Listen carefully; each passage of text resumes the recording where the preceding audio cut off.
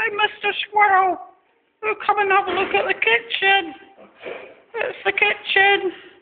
This is the kitchen. That's the kitchen too. That's the kitchen too. Okay. Right, I'm just going out for a fag.